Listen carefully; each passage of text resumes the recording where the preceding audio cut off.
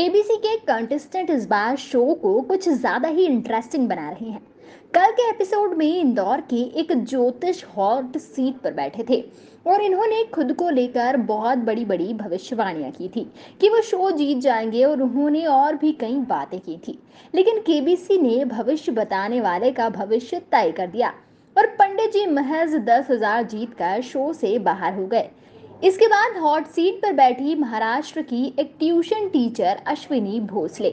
कौन बनेगा करोड़पति के ग्यारहवें सीज़न में? एक ट्यूशन टीचर ने बड़े बड़े दावों के बाद महज एक लाख साठ हज़ार रुपए जीत कर खेल से क्विट कर दिया। लेकिन चौंकाने वाली बात यह रही कि जब फास्टेस्ट फिंगर फ़र्स्ट में उन्होंने सही जवाब सबसे तेज देकर अमिताभ बच्चन के सामने हॉट सीट पर बैठने के लिए उन्हें चुना गया तो वो इतनी ज़्यादा उतावली हो गई कि वो केबीसी के सेट पर इधर उधर दौड़ने भागने लगी। जब केबीसी की ओर से इस महिला ट्यूशन टीचर का वीडियो दिखाया गया था, उस वीडियो में ये सात करोड़ जीतने का दावा कर रही थी। जब अमिताभ ने उनसे पूछा कि वो कौन सा सब्जेक्ट पढ़ाती हैं तो उन्होंने कहा कि वो बच्चों को सभी सब्जेक्ट की ट्यूशन देती हैं। और हैरानी तो तब हो गई जब वो थर्ड क्लास के सवाल का जवाब नहीं दे पाए। इस सवाल के लिए उन्होंने ऑडियंस पोल का सहारा लिया, तब जाकर वो इस सवाल का जवाब दे पाए। अश्विनी से पूछा गया था कि इनमें से किस संख्या का मान सबसे अधिक है। इसके चार ऑप्शन दिए गए थे। 100 से 200, 111, 300, 222, 400, 333। इसका सही जवाब 100 से एक था लेकिन अश्विनी को इस सवाल का जवाब देने के लिए ऑडियंस पोल का सहारा लेना पड़ा।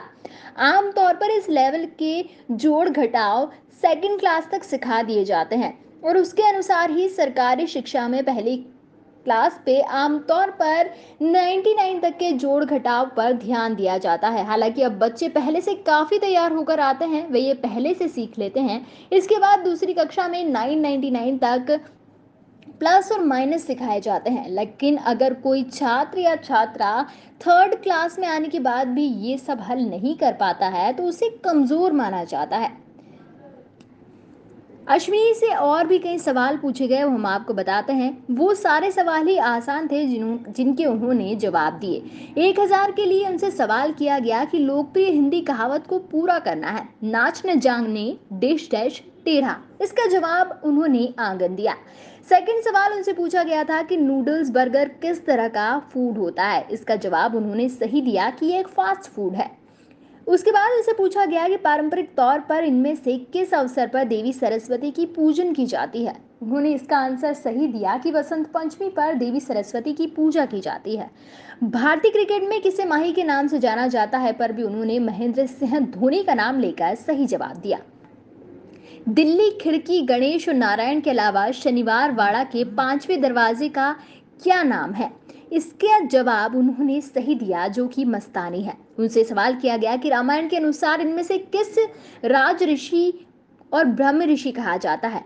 तो उन्होंने बताया कि विश्वामित्र, ये उनका सही जवाब था। उनसे सवाल किया गया कि यदि आपका विमान वीर सावरकर अंतर्राष्ट्रीय हवाई अड्डे पर उतरता है तो आप किस भारतीय शहर में होंगे?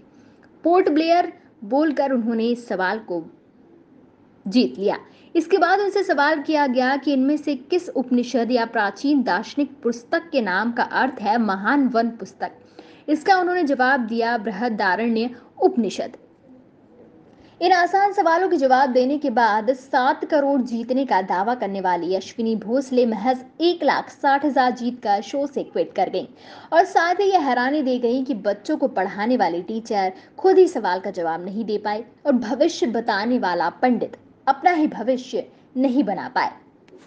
Subscribe our channel and press the bell icon for more updates